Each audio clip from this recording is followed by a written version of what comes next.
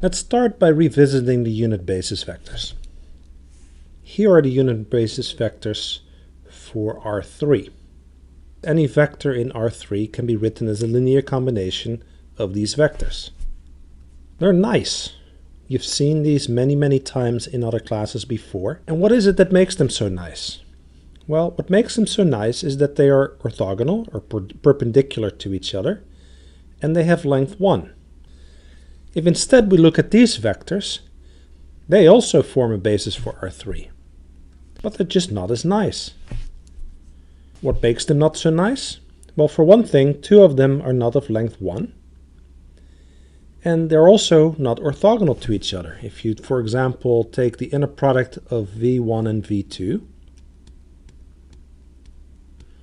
let's see, you get 2. That's certainly not 0. Now we saw something similar to that when we looked at the null space of some of the equations that came up in week 10 and before that in week 9. So what did we have? Well, we found two vectors in the null space, the green, the blue vector and the red vector, that defined this pink subspace. And while clearly you can see that any vector in that subspace can be achieved by taking a linear combination of the red vector and the blue vector. Somehow it is hard to visualize it, it's just not particularly pleasing. If instead we go through a process called the Gram-Schmidt process, which we'll discuss in a uh, subsequent section, we can change these two vectors into two vectors that are what's called mutually orthonormal.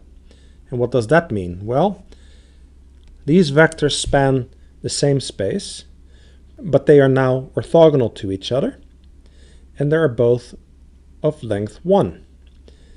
And somehow that's much more pleasing.